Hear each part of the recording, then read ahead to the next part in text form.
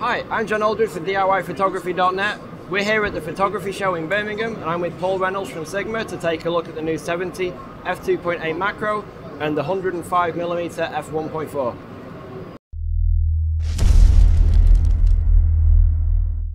So we've got the 70 millimeter f2.8 macro and the 105 1.4. Let's go through the macro first. Why don't you give us the rundown on?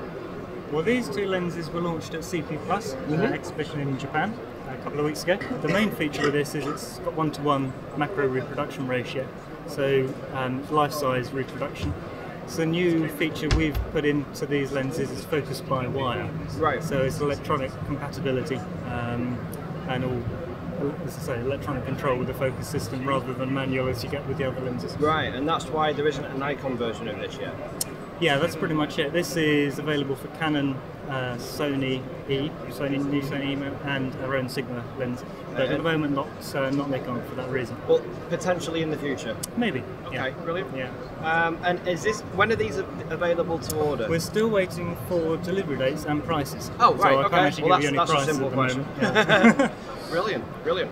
Um, and we've got a focus limiter on here for yeah, I mean, you can use this as a portrait lens or a macro lens. Yeah. Um, it's equally good for both. So if you're using AF, then you can turn the, focus limiter on. Yeah. And what that will do is just stop the hunting because obviously with a, a macro lens, there's a long reach between one to one and infinity. Yeah. And it takes, I mean, because of the focus by wire, it's a very quick process, much quicker than it used to be with the older lenses. Yeah.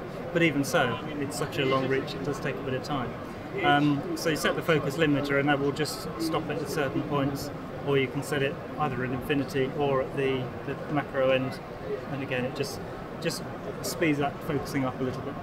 Brilliant, brilliant. All right, well, as we, as we don't know when this is coming out yet or how much it's going to be, we'll just move on to the 105. It's the 105mm f1.4 DG art lens. It's a brand new optical design for us. Um, it's a lovely looking lens. We've had so much interest here at the yeah, show. I bet, and I bet. Obviously, sadly, at the moment, we haven't got any to sell, but we've got this pre-production sample here. It's available in uh, Canon, Nikon, uh, Sigma, and SE mount, we said. Um, I mean, it's it's going to be great for portraits, that, that kind of work. Uh, it's we named the Bokeh Master. Um, yes. It's going to be very, very sharp, really, really smooth, soft, pastely, kind of out of focus areas in the background.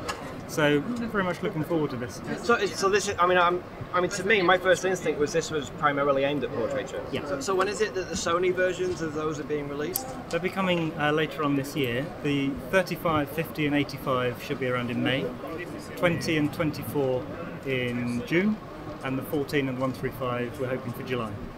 Brilliant. So fantastic. And one other thing I have to ask about this, sure. and nobody likes to talk about weight, but this is substantially larger than the Nikon 105 Is there a reason for that, or was uh, it just easier to design it, or is there something in there that, that wouldn't fit in a smaller space? No, it's not easier to design it. Actually, it's, it's harder oh, is to design it? it. No, but um, it's the art series is about image quality, mm-hmm. and it's no compromise. It's just about image quality.